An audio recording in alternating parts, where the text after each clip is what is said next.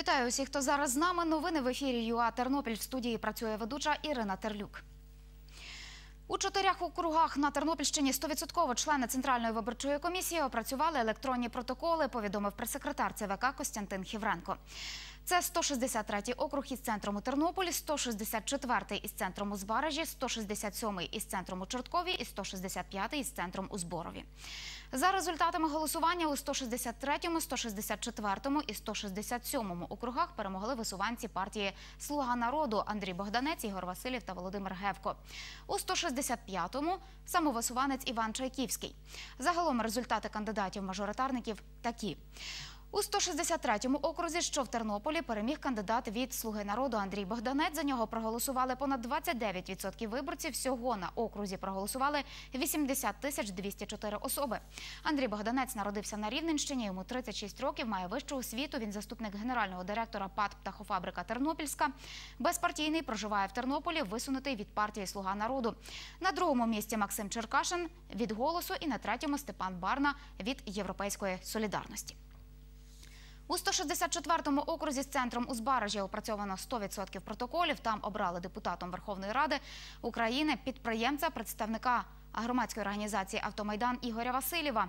Йому 39 років, безпартійний, проживає в Тернополі. На вибори висунутий партією Слуга народу.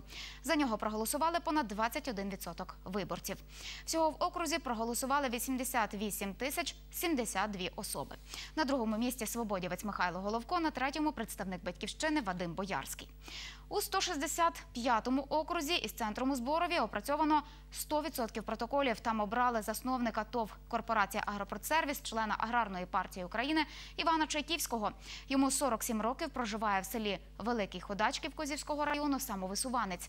За нього проголосували майже 35% виборців. Всього в окрузі проголосували 98 тисяч 133 особи. На другому місці Тарас Юрик від Європейської солідарності. І на третьому Володимир Кисілевич від Слуги народу. У 166-му окрузі із центром в Теребовлі опрацьовано понад 99% протоколів. Серед мажоритарників лідирує самовисуванець Микола Люшняк. За підрахунками голосів на цю годину за нього проголосували понад 31% виборців. Всього проголосували 90 тисяч 872 особи. На другому місці Ігор Сопель від «Слуги народу», на третьому самовисуванка Алла Стечишин.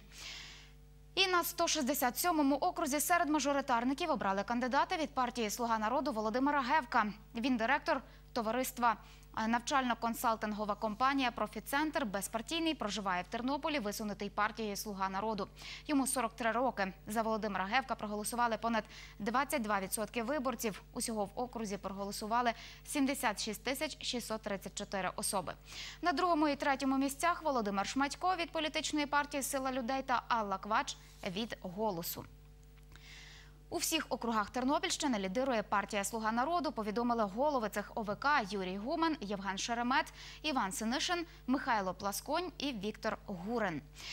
І на цю годину в Україні опрацьовано понад 94% електронних протоколів. Повідомив прес-секретар ЦВК Костянтин Хівренко. Попередні результати такі: більше 5% голосів набрали партія Слуга народу, опозиційна платформа за життя, всеукраїнське об'єднання Батьківщина, Європейська солідарність та голос. За годину гуманітарну допомогу із Данії передадуть у 14-ту школу Тернополя волонтери проєкту Тернопільщина, який реалізовує благодійний фонд Бевар Україна.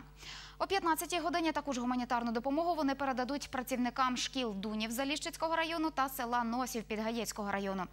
Серед гуманітарної допомоги шкільні парти, крісла, комп'ютери, мультимедійні та крейдові дошки та інші меблі для класів. І також гуманітарну допомогу також привезли для школи села Завалів Підгаєцького району. Коли її працівники заберуть обладнання, поки що невідомо, каже менеджер проєкту Тернопільщина Тетяна Підгурська.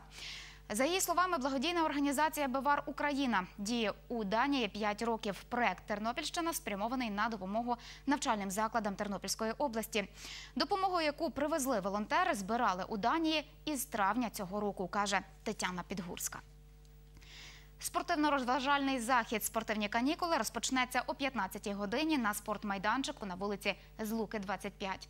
Під час заходу проведуть танцювальну розминку для дітей та дорослих, оздоровчі забіги, спортивні естафети для дітей віком від 8 до 14 років та забави для дорослих. Спортивні канікули проводять працівники Тернопільського міського центру фізичного здоров'я населення для того, щоб влітку на канікулах діти більше часу проводили е, на вулиці і займалися спортом. Повідомила представник цього центру Надія Головко. Більше про це ми розкажемо у наступному випуску новин о 17-й. Із рахунком 1-1 завершився другий матч групового етапу на чемпіонаті Європи з футболу серед студентських команд в іспанському Мадриді. Тернопіль педуніверситет зіграв із командою інституту технологій е, Карлсруе із Німеччини. Повідомив головний тренер тернополян Василь Івегеш. Це кадри із матчу. Рахунок гравці відкрили у другому таймі. Гол у ворота німецької команди на 59-й хвилині забив Юрій Заставецький. Він реалізував пенальті. І гол тернополянам забив капітан німецької команди Ролф. Тайми матчу тривали по 35 хвилин.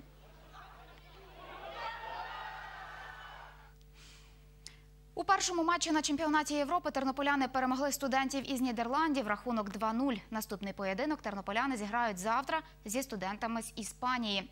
Матч заплановано на 13 годину за київським часом. Цьогоріч у чемпіонаті Європи беруть участь 20 студентських команд. Триватиме він до 27 липня. Команда Василя Івегеша здобула путівку до Мадрида, ставши чемпіонами України серед студентських команд. Фінал відбувся 12 червня. Тоді тернополяни перемогли команди із е, Ірпеня з рахунком 3-0. І на цьому у мене все. Наш наступний випуск дивіться о 17-й годині. З вами зустрінеться моя колега Анастасія Чичко. А також наші новини переглядайте на сторінці у Facebook.ua Тернопіль на нашому сайті і Ютуб каналі. На все добре.